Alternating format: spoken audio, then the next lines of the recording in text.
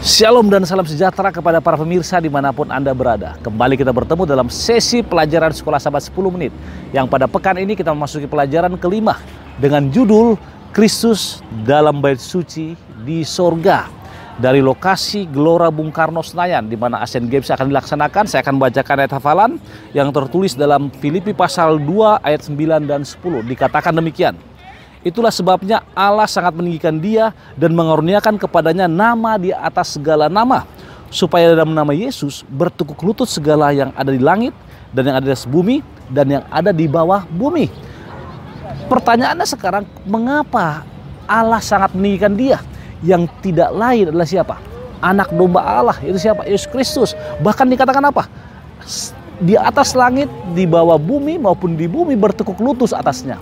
Semua itu karena Yesus telah dipersiapkan untuk menjadi korban. Bahkan dia juga menurut pelajaran pembukaan dikatakan disiapkan menjadi imam besar menurut peraturan Melkisedek. Bahkan kalau saudara buka pelajaran hari sabat petang paragraf kedua dikatakan Alkitab khususnya perjanjian baru sangat jelas tentang apa peran Kristus sebagai imam besar kita dalam bait suci di sorga satu peran yang dia lakukan setelah dia menyelesaikan pekerjaannya sebagai korban pengganti kita di bumi. Itu saudara bisa lihat di Ibrani 10 ayat 12. Artinya pekan ini kita akan mendidik pelayanan Kristus.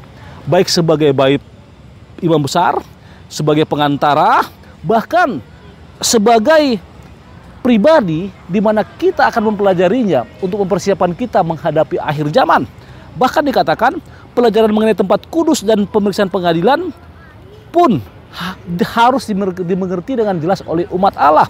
Itu sebabnya kita akan memasuki pelajaran hari Minggu dengan menjawab pertanyaan apa yang sedang Kristus lakukan bagi kita dalam bait suci di sorga dan mengapakah itu begitu penting bagi kita untuk dipahami khususnya pada akhir zaman.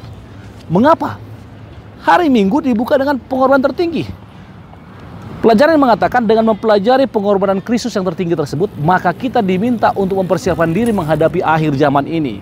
Dengan mempelajari hal tersebut, maka kita akan mengerti makna Golgota tersebut. Dengan mempelajari itu, maka kita akan mengetahui mengapa Yesus harus mati di kayu salib. Bahkan dikatakan pada paragraf ketiga hari Minggu dikatakan, meskipun ilahi dalam dan dalam sifat Allah, Yesus mengambil rupa manusia dan dia merendahkan dirinya dan tak sampai mati, bahkan sampai mati di kayu salib. Dengan cara hanya Allah yang mengetahuinya, dikatakan keilahian Kristus tidak mati ketika Yesus mati di kayu salib di luar pemahaman manusia. Ke keilahian Yesus juga tidak bergerak selama 9 bulan di kandungan dan saat di dalam kuburan. Artinya apa? Kristus lahir untuk mati. Dan Kristus lahir di dunia ini sebagai manusia 100% dan mati untuk menebus manusia dari dosa. Apa yang dikatakan kepada kita tentang kematian Kristus? Kalau saudara baca Lukas 9 ayat 22 dikatakan anak manusia harus menanggung banyak penderitaan dan harus ditolak oleh tua-tua, ditolak oleh imam-imam, ditolak oleh banyak orang dan kepadanya diberikan sebuah penderitaan dan dia mati dan bangkit pada hari yang ketiga. Artinya apa? Walaupun dia ditolak tapi dia melaksanakan semua itu karena apa? Itulah misi utama Yesus masuk turun ke bumi ini. Itu sebabnya pelajaran hari Senin dibuka dengan apa? Anak domba Allah. Apa yang dimaksud dengan kalimat anak domba Allah? Anak domba Allah maksudnya di sini adalah bahwa Yesus sebagai korban bagi manusia, korban pendamaian. Ketika manusia jatuh ke dalam dosa, maka kematian Yesuslah yang melayakkan manusia menerima kasih karunia.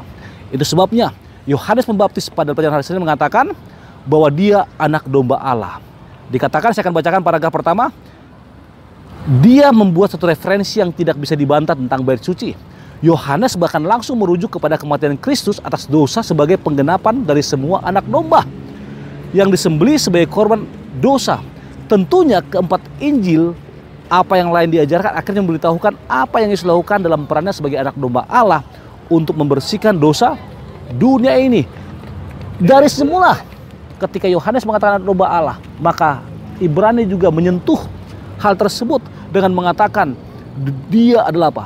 imam besar dalam bait suci surga setelah perannya sebagai anak domba. Lalu, apa yang dikatakan penulis tentang Yesus? Ingat, pelajaran hari Senin berfokus kepada penulis mengatakan apa? Tentang Yesus mengenai Melkisedek itu imam besar. Kemudian penulis juga mengatakan mengenai Abraham yang berhubungan dengan persepuluhan. Pelajaran hari Selasa berjudul Imam Besar kita. Tadi telah dikatakan bahwa Yesus sebagai pengantara dan dia sekarang sebagai imam besar. Bahkan dia memberikan pengharapan yang besar yang diberikan kepada kita itu apa? Dia akan menyelamatkan kita dengan menjadi korban hanya sekali dan hidupnya juga menjadi pengantara hanya satu kali. Bahkan dikatakan dia memiliki keimamatan yang permanen. Bahkan selama zaman Kristen hanya dia seorang yang hanya mati satu kali, lahir satu kali dan yang sempurna. Kenapa dikatakan sempurna? Kalau saudara baca paragraf ke pertama bagian B dia kata, dikatakan dia memiliki kemauan yang permanen selama zaman Kristen. Dia adalah pengantara umatnya untuk selama-lamanya dengan kasih yang sama ketika dia menyembuhkan orang sakit dan memberikan penghiburan kepada yang kesepian. Dia juga adalah manusia tetapi lahir tanpa dosa dan tetap tidak berdosa. Dan seorang yang tidak berdosa. Artinya dialah yang layak untuk menjadi imam besar kita. Bahkan dikatakan dalam buku Ibrani bahwa Kristus telah menghasilkan penebusan yang kekal di mana dia menjadi mati, mati menjadi pengantara kita. Hari Rabu dibuka dengan apa? Perantara kita. Sama seperti tadi bahwa kematian Kristus atau pengorbanan Kristus adalah untuk melayakkan kita menerima kasih karunia. Yesus dikatakan sebagai apa? Pelopor. Kenapa kita layak menerima kasih karunia? Ketika dia mati, maka kasih karunia Allah itu besar diberikan kepada kita Saudara masih ingat Yohanes 3:16 karena kasih apa? Pelajaran minggu lalu, kasih Allah yang begitu besar atas manusia sehingga dia apa? Memberikan putra tunggalnya. Dan itulah yang dikatakan pada pelajaran apa? Hari Rabu di mana dia menjadi pengantara kita yang berdiri di antara kita dan Bapa. Dan dia akan membawa kita dan mengatakan bahwa saya telah mati bagi mereka dan mereka layak untuk menerima kasih karunia. Mereka layak untuk diselamatkan. Sebabnya paragraf ke Tiga hari Rabu dikatakan, ya bila kita menerima Yesus, dosa kita akan diampuni. Dan kita berdiri di hadapan Allah sudah diampuni dan dibersihkan. Tetapi kenyataannya walaupun kita sudah menjadi orang Kristen, kita masih melakukan dosa terlepas dari semua janji kemenangan yang luar biasa. Artinya apa? Dia menjadi imam besar kita. Itu sebabnya hari Kamis dibahas mengenai grafirat atau hari pendamaian. Masih ingat ketika kitab Ibrani bahkan bangsa Israel pada zaman dahulu melaksanakan upacara grafirat yaitu hari pendamaian sekali setahun di mana imam besar masuk ke bilik yang maha suci untuk membawa apa? Semua dosa bangsa Israel. Namun dikatakan di sini, kitab Ibrani dengan jelas mengatakan bahwa Yesus masuk dan diurapi sebagai imam besar kita. Pelayanan bait suci di bumi dengan dua bilik dan upacara pengorbanan dan pembersihan adalah gambaran yang gambar atau bayangan dari apa yang ada di sorga. Sama seperti yang disampaikan kepada Musa ketika ia hendak mendirikan kemah. Artinya 1844 dalam nubuatan, kalau saudara baca nubuatan buku Daniel, itulah yang kita percayai bahwa Yesus berpindah dari bilik yang suci bilik yang suci untuk menjadi imam besar kita. Bahkan pelajar paragraf ketiga hari hari Kamis mengatakan Ibrani 9:23 menunjukkan bahwa pekerjaan Kristus lakukan dalam bait suci di surga adalah sebagai ungkapan yang benar dari apa yang dilakukan oleh imam, imam dalam bait suci di bumi dalam pelayanan hari pendamaian tahunan di bait suci orang Israel. Pelayanan imam adalah dalam pembersihan bait suci di bumi adalah bayangan pekerjaan Kristus yang dilakukan dalam bait suci di surga. Ayat ini tidak mengatakan bahwa pembersihan bait suci di surga setelah kenaikan Kristus. Artinya apa? Sekaranglah dia apa?